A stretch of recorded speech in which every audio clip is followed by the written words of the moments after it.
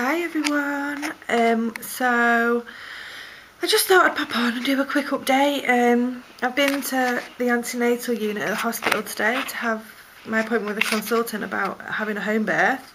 Um, they went through everything, basically said I'm good to have a home birth, but because I tested positive for GBS in the past, um, none of the kids have had it, but I've tested positive for it in the past, and if I went on to have baby at home, then um, the next day I'd have to take him in to be checked out by a doctor, which is fair enough. And then I mentioned on my, I said, look, if you look at my notes, then you'll see that when I had my, saw the midwife last week, that um, she said the, his presentation was breech. So they were like, oh, okay. Um, so the midwife that was there took me into a little room and gave me a quick scan. When I say quick, I mean quick. I didn't get to see any details of him. I just saw his head and his bum, which was nice though, nonetheless. Um, anyway, he's definitely breech.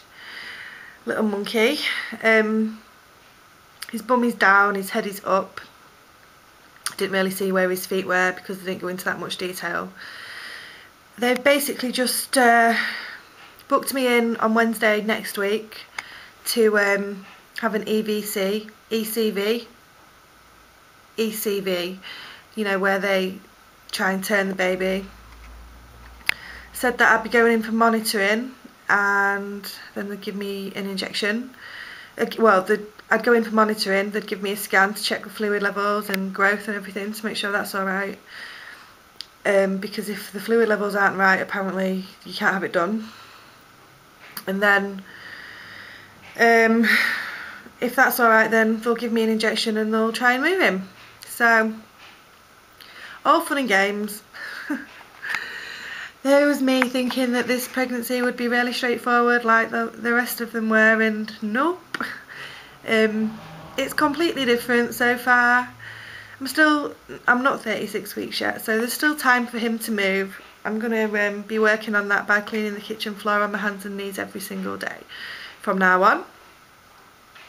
And if that doesn't work, then let's hope the ECV works. If it doesn't work, then I will be having him um, breech in hospital. So the consultant that I'll be having is like really experienced in breech birth. So something kind of new to me. Feel a little bit nervous about it. Um, trying to keep my cool but I'm feeling a little bit stressed. So we will see. A good night's sleep will probably put me in a better mood but yeah. I just feel a little bit stressed at the moment. So I just thought I'd let you all know anyway and uh, keep you updated. So yeah.